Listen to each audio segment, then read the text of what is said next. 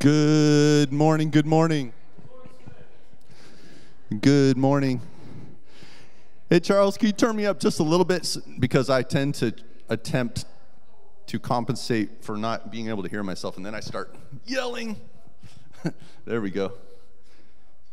Thank you. And if it's too loud, turn me down. Sorry, now it's a little too loud. Uh, check one, two, one, two, one, two. Good morning, good morning. Welcome, everyone. And uh, my name is Sven, and my wife Amber and I, we volunteer here. It's we were looking at the calendar recently, and it was six years ago we moved here to Sudden Valley, and I remember it was that moment where Jason was getting out of the wheelchair and his his healing up those knees for that Easter service. I remember remember that Sunday and and uh, it's been a we are thankful for the journey that uh, we've had with you all. My son Tenzin is downstairs somewhere, and daughter Vesper, 11 and 9. And thank you all for being a community where we, where we get to serve Jesus.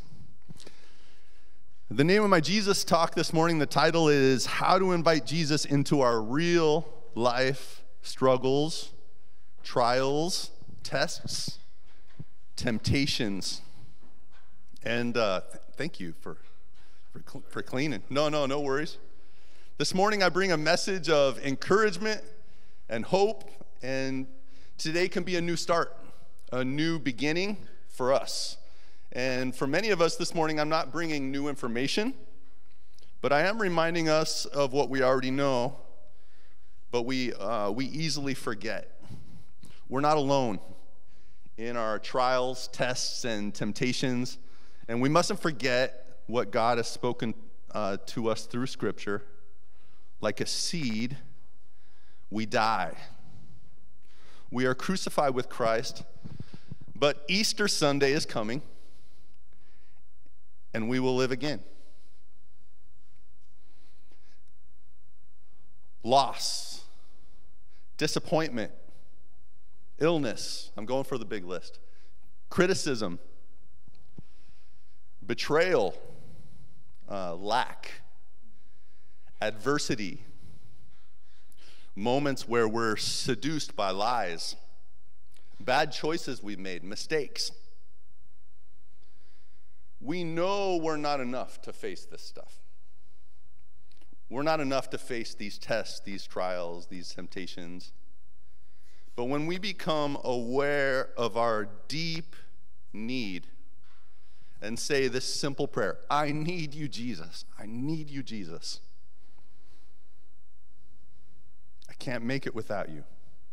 Jesus responds by, by not necessarily making all, it all better, but by walking us down through that valley, right? Psalm 23, through the valley of the shadow of death. Jesus literally walking with us in, in and through that, just like Jason just mentioned to the kids. Because God, our Creator, knows us better than we know ourselves. God knows just what we need to make it through to the other side. God, God, God knows us. Like we, we, we, we wonder if He really gets us, but He knows us better than we know ourselves. Uh, I'm already, I'm already emotional this morning. I'm just thankful for the, uh, for God's faithfulness in my life. Um, I've had a chance to know Jesus my whole life. And, uh, and that's been hard sometimes because every time I've ever rejected God or gone my own way, I knew totally, I knew totally what I was doing. Uh, like, like God has been close to me my whole life. And, uh, but God's love is faithful. God's good to us in all the, the heavy stuff and then also just the fun just details of life. Um, I, I wore my insulated rain boots this morning. I figure this was my one Sunday where I could wear them and show them off. Um, I've ne- I, I've, I'm a Colorado kid. We don't have, insul- at least, not that I know of, no one I knew had insulated rain boots in Colorado. Maybe they do, I don't know, but I never did. I never knew anyone who did. Uh, we had like water resistant snow boots. That's what we had. And so I go to the dog park a lot, and uh, with our dog, doggy Stella. And at the dog park, I'd look around, you know, and I look at all these. In my mind, since I'm from Colorado, I'm always like, oh, these are real Washington people. I need to learn from them. So I look around the dog park, and they all and lots of people in that muddy dog park have these insulated water boots, rain boots, and I'm like, someday, someday I will own a pair of those and be a real Washington person. And finally, this year, six years in, I got my boots. So I just, uh, yeah, thank you. Thank you, Jesus, for your faithfulness. and in you know and that's just some dumb little thing right but isn't that how god works god like god works in all of it right and so my first point this morning is this receive god's smile of grace. God sings over you. His very voice holds the universe together. Brought initial life created the universe with his words. God sings over you and empowers you with what is grace. Grace is that just that little bit of favor that you need, that mercy that you need, that love that you need, that justice. Ooh, justice is a is a tough one, right? So it's not just, oh, God gets you and you're okay. It's like, no, God really does get you and, and He really does love you in all of your mess. And He does see that justice needs to happen in your in your life and that there are real things that need to change and there are real problems in the world we live in.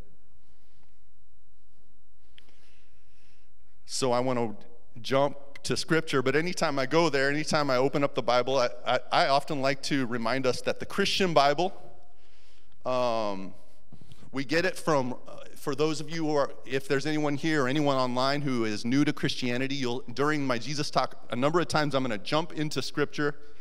Um, I have my I have my scriptures written out in my notes. So for my symbolic Bible that I'm just pointing at, I've got, a, I've got an Italian Bible. I worked on a lot of Italian last year. And my favorite thing about my Italian Bible is that the book of John is Giovanni. I mean, it's pretty cool when you open up the book of Giovanni. Anyways. So the original writers of the Bible were inspired by God. And the church Followers of Jesus were inspired to gather it up and decide what they sh- what should be in the Bible. Literally, go, oh no, we really do see that that is God's word. Well, that isn't. And we as readers today, we're inspired to hear God in the reading of this redemption story. We God inspires us today as we hear His word. Do we get to like reinvent it any way we want? No, no but we are inspired by God. We are inspired by the Holy Spirit. What is the Bible? The Bible is the redemption story of one family in a very personal way. Um, and God's plan to use this one family to redeem all of humanity, every nation, every people. And so we read this redemption story, and it influences us today we hear God's voice in it today. And Paul, in his letter to Timothy in Ephesus, pretty sure that's what Timothy was. 2 Timothy chapter 1, verse 9 says this He saved us and called us to a holy life, not because of anything we have done, but because of his own purpose and grace. This grace was given us in Christ Jesus before the beginning of time Grace is one of those Christian words. We know, we kind of vaguely know what it is, and we know it's good. But it's it, and we and we're it, but it's challenging to just wrap our brains around it. We have to be reminded again and again. So grace is that that little bit of empowerment that we need, not so that we can be like self uh, self-empowered or something, but just enough so that we can respond to God's goodness. God always initiates. God always makes the first move. God always invites us first and gives us just enough grace so that we can respond and say, Yes, Jesus, I need you. That's grace. That little bit of favor, that little bit of mercy, that little bit of power, that little bit of something that we need because we because we get so down in it that we that we can't respond to God without that grace. But when I look at my own life, I say, wouldn't, wouldn't, wouldn't we rather try to get our act together first before getting God involved? Um, at least show a solid effort, you know, like a, with my own kids, like I'm often like, just make a solid effort and I'll meet you, you know, I'll meet you in the process, right? But we don't always have a solid effort in us, do we? Uh, but we fake it, right? Maybe ignore uh, what's really going on inside us. Maybe fake it just long enough to, to make it seem, to when maybe we can change on our own. But God wants the real us, the real you, with some strengths. You, do, you actually do have some strengths. You don't just have to approach God, I am a worm, I am nothing. It's like, no, God, I, you created me in your image. There's there, your fingerprint is on my life. There's some good stuff in here, but mostly it's mostly it's it's not good stuff. So there's some accomplishments, there's some stuff, but uh, there's a lot of weakness in us. And so, my next point is this we must be deeply honest about what pulls us. Be deeply honest about what tugs on your heart, what triggers you, what just grabs you, and you go, Whoa, my heart just gets, whoa, like I just, I see this situation, I'm just jealous, and I'm like, Why is that in me? Or I just, I get angry about this one thing over and over again. Pay attention to desire. Desire is one of those, uh, I preach this often if you've heard me give Jesus talks, but there, there's something about uh, religion that makes, that wants to tell you that desire is, desire is wrong. But the enemy of our soul satan loves is not satan is not cre- a creator we we don't we don't live in a in christianity we don't believe that there's like this um this, that we're in this battle of good and evil with this, and and and uh, instead we instead we believe, yeah, there's a battle between good and evil, but God is completely sovereign, and God at a moment could just win the whole battle, but instead God, out of His patience and His kindness, allows allows for the battle to continue so that more more can respond to His goodness.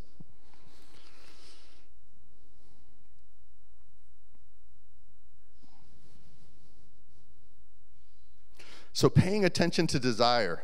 Sometimes there's the desire in us, and we just don't even know what it's all about. And it, oftentimes, the easiest way to get to desire is go, How am I completely messing up? Where are the places in my life where I'm just rejecting God? Oh, there's, des- there's desire in there. And desire is good because God can, re- all, God, God just wants repentance because he can take that desire. Desire is like fuel. And God's like, Let, we can just point the the car of your life back towards Jesus. Let's U turn this thing. Let's get on the road of repentance and let's point this desire to your goodness, Jesus. Let's, let's, let's, let's point this desire back towards God's, God's original intent. And so we're called to live an examined life. Look for the good and the bad. And uh, I encourage us this morning, everyone, I'll, I'll, go see, I'll go days and days and I'll do a good job with this. And then I'll go weeks and weeks and, and not do a good job in this. Um, but it is such a profound habit to take a couple of minutes at the end of each day and go, God, where, where did I feel farthest away from you today, God? That's usually for me, it's always easier to go negative first because I kind of have this negative strain inside me. And so I'm like, where am I a complete loser? and then it's like, I can get there easy. And then I go, okay, God, those moments where I felt so far away from you, I give those to you. I can just give that to you. Um, but where were your invitations? Where did I get a sense that you were real today and that your, your creation is good and somewhere in the mundane and in the awesomeness of my life that I could just feel your goodness. Oh, you know, there was that moment today. And that's an examined life of just taking those couple of minutes and and ah, I, I, I challenge us to to do better at that. Um, maybe once a week to kind of where in this week. I recently had a birthday and I'm 47 years old. Woo! I didn't. Uh, I I enjoy claps, but like. um, but one of my favorite things about a birthday is to kind of look back and go, "Oh God," just to examine that a little bit and go, "God, where were you this year? Like where?" Like my favorite devotion, one of my favorite devotion times of the year is like Christmas morning, early in the morning, or like my birthday, early in the morning. And I just kind of, for some reason in that moment, it feels natural to examine my life and go, okay, where are you at, God? Where are you at? David, the psalmist, in the book of Psalms, which is really the prayer book of Christianity, and Psalm 139, verse 23 and 24 says this Search me, God.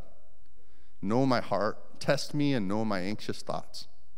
See if there is any offensive way in me. Lead me in the way everlasting. The Psalms are, are full of just the honesty far deeper than. Um, it, I love that it's our prayer book because if you go back and read Psalm 139, the whole chapter, the whole psalm. I read it this morning. Right before this part, David is just like, just talking about how he hates God's enemies. And he, he just, he's just like, there's this, there's this thing in his heart where he just wants vengeance and he just, and he just, he kind of just lays it all out just and then he and then at the end of that he says this search me god um, and so we're challenged by the Psalms to be more honest than we are, to, to, to, to give God all of who we are. My next point is this listen for the yes instead of focusing on the no. God invites us into freedom and connectedness to the Holy Spirit instead of just dampening passions with a list of rules. Now, rules are helpful. You know, little kids, it's good to have some rules you know, and it's like, um, and more and more as kids grow up, you, you start to explain, okay, we've always had these rules, but you, what was underneath the rule? It's like, the rule has been do not go in the front yard. Okay, but now that you're a little older, I want you to know because there's a crazy busy road right there, and, and, and we didn't think you had the know, the, the, the know-how to stay in the yard and away from, and so you've been playing in the backyard all this time because we didn't we weren't able to explain to you why you couldn't play in the front yard. And so that's a small example. But rules are really good um, baby steps. They're good um, training wheels. They're good, they get us going. Um, in my life, where I've faced, where I've been in the middle of addictions and just bad habits, and just sometimes it's helpful just the only way you can just come up for air out of addiction is just be like, and I will not even live my life, I will stand here and not move. you know, like you just, there's moments where you just need rules, okay? But then over time, it's not sustainable. And, uh, and we need wisdom from God to know, to, to know how to move beyond that. Initially, these rules keep us from drowning, but long term, the only sustainable way to make it through is with ongoing connectedness, connectedness to Jesus moment to moment, ongoing dialogue, ongoing conversation. We begin to understand, like, I am God's home, you are God's home. We can talk to Jesus anytime. Jesus, perfect representation of our Heavenly Father, living inside of us through the Holy Spirit. God begins to do good works in us. We can, we can celebrate freedom. We can go, Jesus, thank you. Thank you for this. Thank you for today. Like, I just, I felt close to you. And just to start have these little one sentence dialogues because he's right there. He's right there. Nobody can take it away from you. It's one of the most profound things in life is that we literally were created with the ability, we could even lose our ability to talk and we could still talk to Jesus on the inside.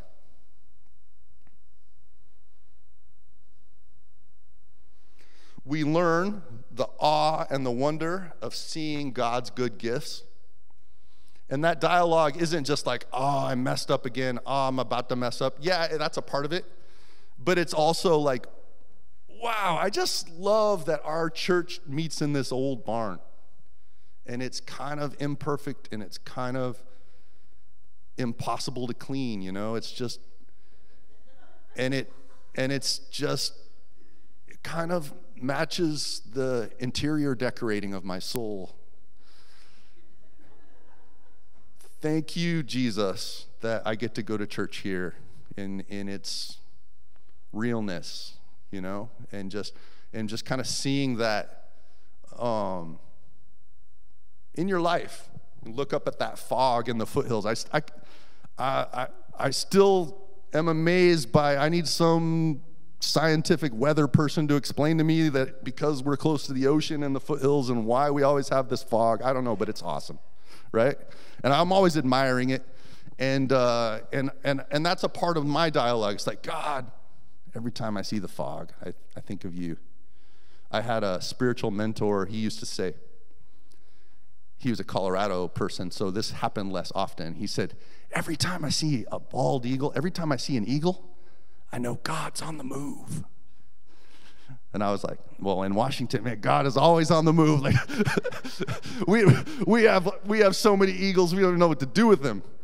And, uh, and so just that awe and that, that like, oh, that wonder in our hearts Paul, in his letter to the church in Galatia, Galatians chapter 5, verse 16 and 17, says this So I say, walk by the Spirit, and you will not gratify the desires of the flesh, for the flesh desires what is contrary to the Spirit, and the Spirit what is contrary to the flesh. They are in conflict with each other, so that you are not to do whatever you want. You, the Spirit of God begins to work in us and change our hearts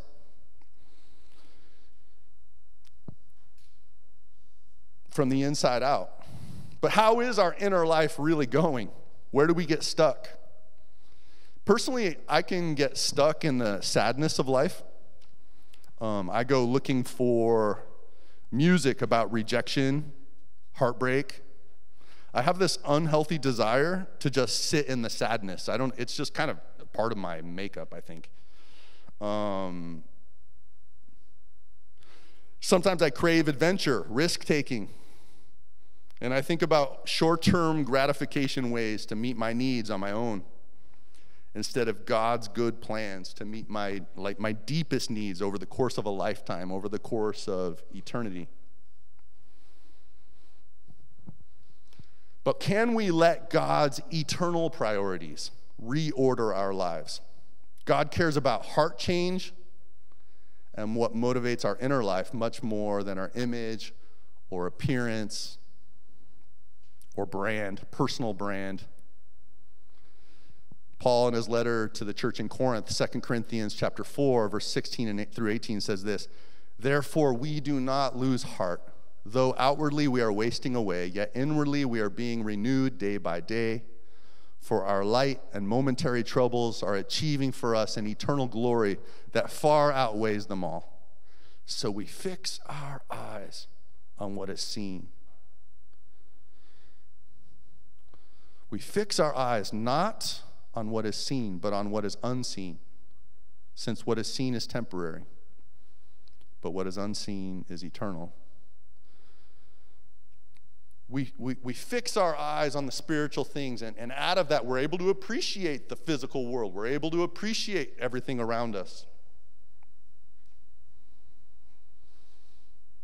But our hearts our hearts have a lot of stuff going on inside of them. I fear rejection. And I, I always hope that if I can be prepared enough, smart enough, funny enough, likable enough, if I can control all the variables, then maybe I'll finally be enough. And so I get caught up in creating some kind of persona a story about self that is marketable, something you can actually describe and people go, oh, I get you, I understand you. Something to help give me influence, maybe open doors for me. If I could just, if people could just know my ideal self, that then I could really do something in this world. But my question this morning is this what if we were really known? really known? The real us with the good parts and the bad. What if there were just a handful of people in this life where we could truly be our real selves and not just our ideal selves? We long for that. And we want that as a community, and, and it doesn't happen magically. No church magically has that, but usually you have a couple of friendships and you grow into that over a, and you, you take that risk little by little with that grace that God gives you. Can we ask for help? The struggle and celebration of life was meant to be lived in community. Can we build a community of authentic confession? This is where I'm really at. This is these are my struggles. Truthful storytelling. This is the story of my life. I see what God has been doing in my life. I see your, I, I hear your story. I'm encouraged by your story. We're in this together. Hopeful dreaming. Someday God will God will bring all of this to completion. Someday God will, will, will finish his good, the good work that he's been doing in my life. Jesus and his disciples were a community. The disciples were often honestly asking the hard questions, confessing their moments of faithless heart posture to Jesus, going through real life growth, heart change together. They had developed a relationship with one another and with Jesus and that invited vulnerability. But at times they were so comfortable they forgot what was right in front of them. Mark chapter 4, 37 through 38. Then Jesus returned to his disciples and found them sleeping. This is in Gethsemane before Jesus would be crucified. He says, Simon, he said to Peter, Are you asleep? Couldn't you keep watch for one hour? Watch and pray that, so you, that you will not fall into temptation. The spirit is willing, but the flesh is weak. Jesus had asked Peter to keep watch. Peter is tempted by the flesh and sleeps. Watch and pray so that you will not fall into temptation. We often daydream in life. We often allow distractions to pull our focus from what Jesus has for us. But we're not called to look away from Jesus with our dreams. We're called to desire them through our experience with Jesus. Instead of the religious rule would be like, I'm just not going to dream anymore. I just don't want to think big. I just, I just, I want to be a realist, and I'm just going to like stay in my little box, and I'm just going to stay safe. And Jesus instead says, I invite you to dream. I invite you to dream, but make me a part of it. Make me, make me a part of your dream. Peter would later be asked by Jesus, Do you love me? Peter would say, Yes, and Jesus would say, Feed my sheep. Peter would, Peter would go on to lead and feed Christ's followers with spiritual nourishment. So he didn't just stay in that broken place where he couldn't watch and pray. The Holy Spirit took him into more. The biggest dreams of Peter's heart were discovered and fulfilled as he said yes to loving Jesus. The deepest places in Peter's heart would be met by God's presence. My last point is this this morning let God romance your heart.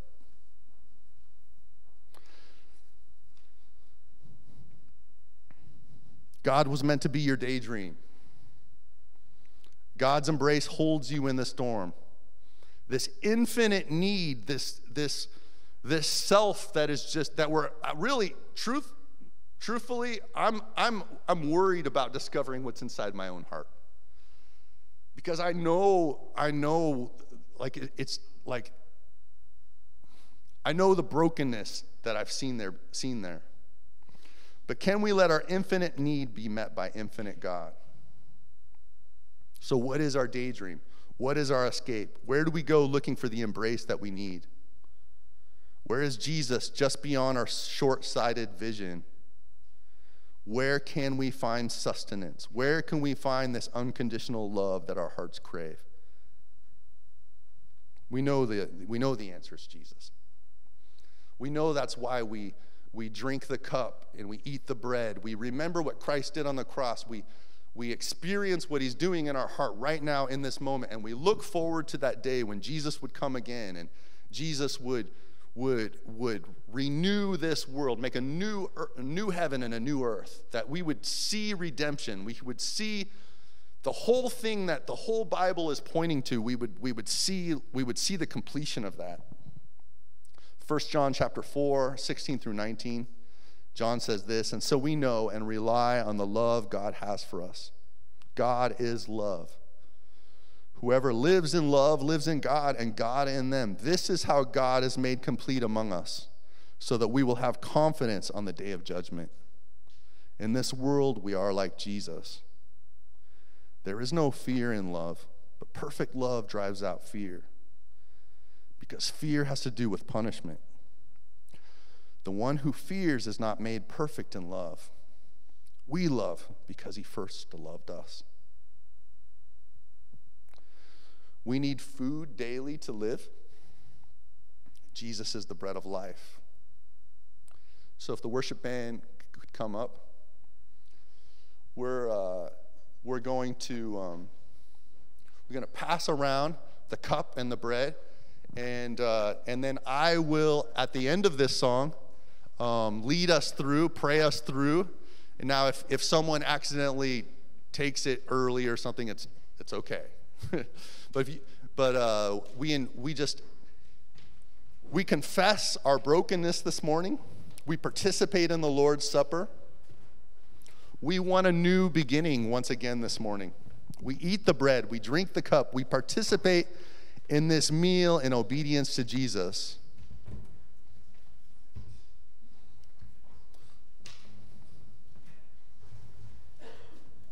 What God did in the past, what God is doing in our hearts today, what God will bring to completion in the future. We ask for all that this morning.